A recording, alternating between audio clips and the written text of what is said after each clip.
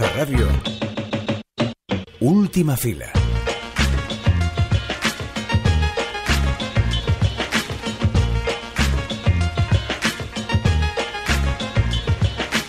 Mira que os tenemos dicho que hay que ir al cine. Las taquillas siguen sin arrancar en uno de los momentos del año donde más y mejor se está estrenando.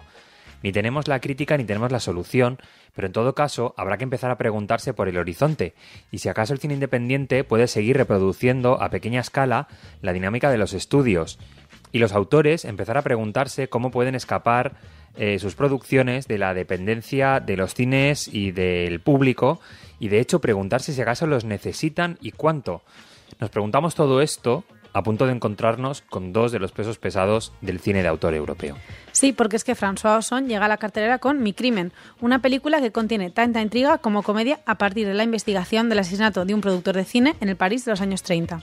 También nos sentaremos cara a cara con Rita Acevedo, con la que hablamos de su experimento El trío en mi bemol, rodada en condiciones pandémicas hace dos años y en la que deconstruye una obra de teatro escrita por Eric Romer en los 80 para acabar generando un ejercicio de metacine. Y acabaremos con un caramelito que creo que nos ha robado el corazón de nuestro querido cine español. La mala familia, un documental del colectivo Bereber que da voz a un grupo de jóvenes reunidos años después de haber sido condenados por un delito, pero que desean vivir la amistad y la vida más allá de ello. Esto es Última Fila, el programa de cine de Cultur Plaza y Plaza Podcast. Aquí estamos, Álvaro de Vis, Clara Gorría y tú que nos estás escuchando. Acomódate que empezamos. Madeleine Verdier una actriz sin recursos ha matado presuntamente al famoso productor el señor Montferrand. Otra vez, una mujer. Una actriz sin un franco o una peseta o lo que hubiera en Francia en los años 30, que si soy sincera no lo sé. Pero bueno, esta actriz con mucho desparpajo decide confesar un crimen que no ha cometido. ¿Por qué? Pues por una parte para poder corroborar que ha sufrido acoso por parte de un productor que le prometía un papel. Y por otra pues bueno, para embelesar a su público, que en este caso es un jurado, en un escenario, que en este caso es el juzgado. Pero esta aventura, que en un principio parece que no tiene mucho sentido, pues bueno, esta actriz no está sola y es que además la acompaña su compañera de piso, que es una abogada en ciernes a la que tampoco le suena ingenio. Las dos jovencísimas y las dos sin un euro. A ver a qué suena esto a las series ahora que se hacen en Barcelona. Pues esto ya en los años 30 ya estaban compañeras de piso pobres. Bueno, pues estas dos, que en este caso son una morena y una rubia de manual, consiguen meterse a todo el mundo en el bolsillo y brillar ambas con este caso de asesinato.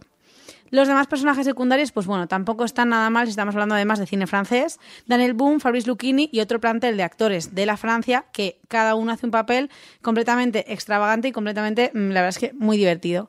Y bueno, entre todos ellos también está eh, Isabel Lupert, mi amor, que ya hablamos la semana pasada de ella, hablamos esta semana y sinceramente espero que por mm, gracia al destino podamos hablar también de ella la semana que viene. Em, en esta película hace de una especie de actriz del cine mudo que bueno, que va perdiendo como su esencia frente a esta actriz que intenta ahora conseguir una carrera, eh, una chica joven, y entre ellas dos pues hay una relación bastante rara y divertida y el papel de Isabel Huppert, ya os digo que es como una caricatura y, ella sale pues mm, para mi gusto demasiado fea. La tenían que haber puesto un poco más guapa porque es una mujer que luce, pero bueno, que tampoco pasa nada, no hay que ser guapa todo el rato. Bueno, toda esta historia que tiene algún recuerdo del Me Too actual en realidad está ambientada, como hemos dicho, en los años 30 en París con toda su teatralidad en el vestuario, en el decorado, en los gags, en las actuaciones, en la música, todo absolutamente eh, exagerado y eso es lo que hace que esta peli sea muy divertida. Y esta película está basada en los años 30 porque es que resulta que está hecha a partir de una obra, de una obra del año 35 que básicamente es la misma historia. Es una comedia en la que se juzga a una mujer que ha matado a un hombre. Pero claro, os podéis imaginar que igual en el 35 y en París, que además los franceses para algunas cosas muy bien, pero para otras van un poquito lentos, pues esta comedia estaba pues se hacía la risa del otro lado, del lado de reírse de la mujer. Aquí lo que hace Ozón es reírse del feminismo y con el feminismo. Así que bueno, prepararos para escuchar las mayores burradas sobre las mujeres, pero con ese toque justo de diálogos veloces y afilados que hace que sepas de qué lado realmente está mucho que ver eh, con la pandemia y que se puede ver también otros títulos como Babilón de Damien Chazelle, Los Fabelman de Spielberg, El Imperio de la Luz de San Méndez y que bueno, que él dice que durante el confinamiento tuvimos este miedo de perder este cine que como que nos había dado todos, quizá por las plataformas, por el cambio de costumbre, como por esa individualidad y que la idea del fin de las salas como experiencia común es lo que cree que está empujando a estos directores a rendir este homenaje nostálgico.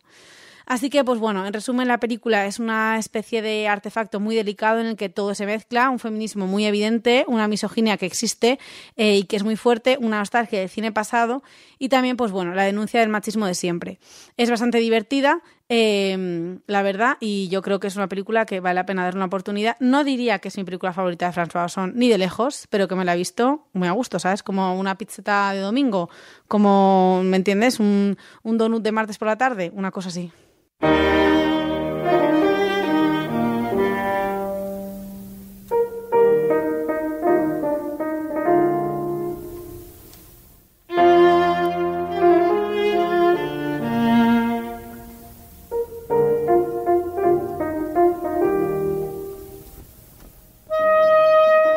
El cine portugués no solo supo sacarse las castañas durante la pandemia, sino que además dio lugar a dispositivos fílmicos tan interesantes como Diarios de Otsoga de Miguel Gómez. Grabada en plena pandemia, pero dejando que la película respire por sí sola, tiene mucho en común con el trío en mi bemol, una propuesta de Rita Acevedo. Basada en una obra que escribió Eric Romer en los 80, Acevedo no consiguió financiación, pero sacó el guion que adaptó del cajón y se lo propuso a Rita Durao, Pierre León y Ado Arrieta. Era un juego, un proyecto gratuito, un campamento crusty, encerrarse en aquella casa con los diálogos retorcidos, neuróticos pero tiernos de Romer, grabar en una casa extraña, que parece un escenario hecho a medida para la obra. Acevedo cambia poco el texto original de Romer, pero sí le da una nueva dimensión, literalmente, porque lo que está sucediendo no es la obra, sino que está teniendo lugar un rodaje. Ado Arrieta interpreta a Jorge, un director obsesionado con Rita Durao, que lleva el rodaje de una manera anárquica, casi despreocupada.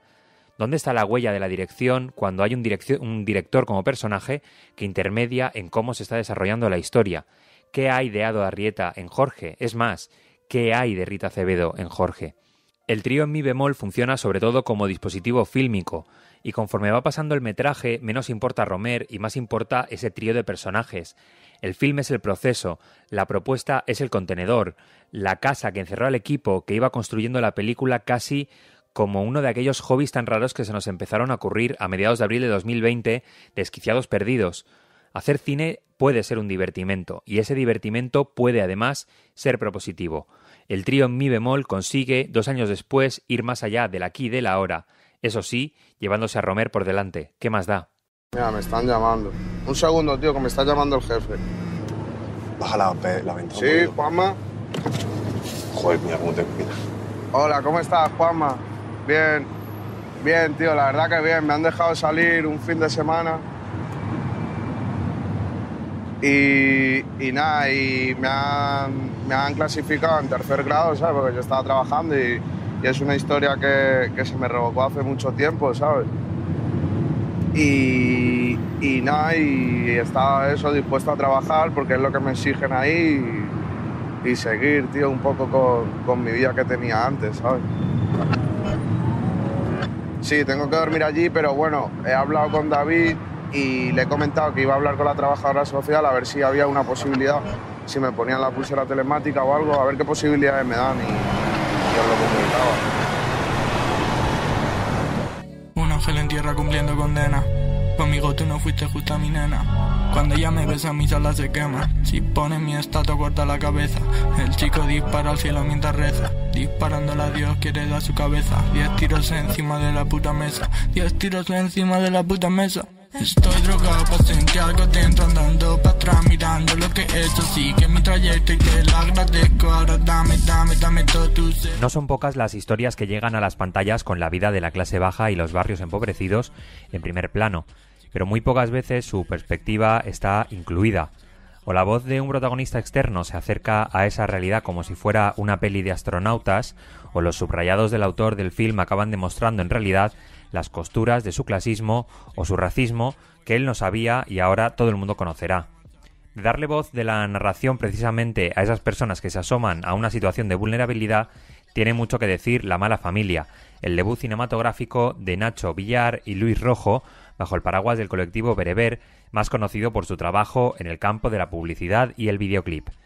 En La mala familia nos acercamos a un grupo de jóvenes que han sido juzgados por un delito que cometieron contra otra persona sin saber en ningún momento cuál es. Tiempo después del juicio, aprovechando la primera salida de uno de ellos de la cárcel, el permiso, se reúnen para celebrar la amistad y apoyar a su compañero. El aquí de la película es una casa en ruinas, vandalizada, un reflejo del shock del suceso, de las vidas marcadas, de la casa que no es hogar. El ahora es todo el tiempo que, en el mejor de los casos, no han perdido, como el carpe diem pero al revés.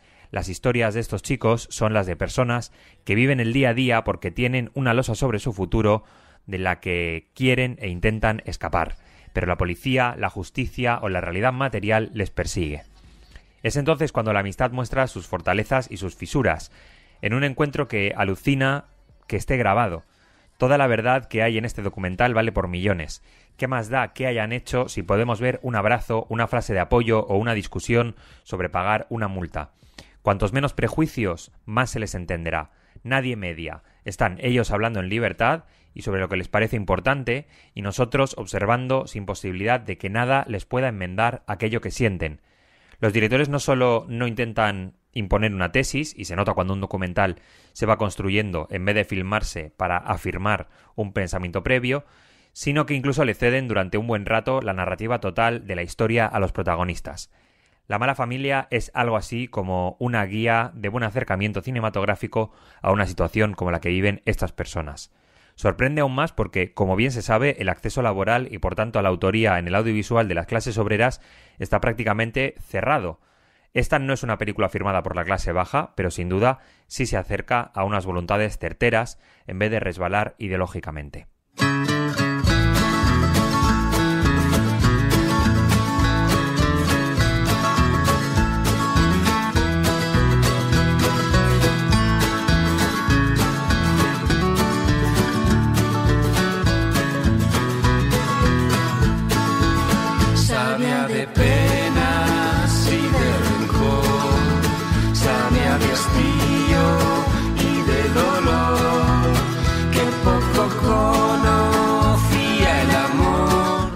Muy bien, se nos tiene que dar el programa de la semana que viene para que aparezca otra vez Isabel Gupert. Estaría Mm, genial, lo- ¿eh? el- porque ya estamos echando un vistazo a la cartelera para... Porque en esto, aquí este programa no se hace de un día para otro. No, no, hombre, tiene una... tenemos que pensar, que ver las películas. uf. Y Isabel Huppert no está No en el tiene horizonte. pinta, no tiene pinta. Pero Pero, nunca con Marta podemos. Meztaros no lo sabíamos. Y Mm. como Mon Crime está, mi crimen, tampoco yo me lo imaginaba. Así que quién sabe. Pues con, esta, con este misterio eh, nos escuchamos dentro de siete días. Adeu. Un besito. Buena, existe un Dios, ahora sé que sí, porque es un milagro que estés ahí.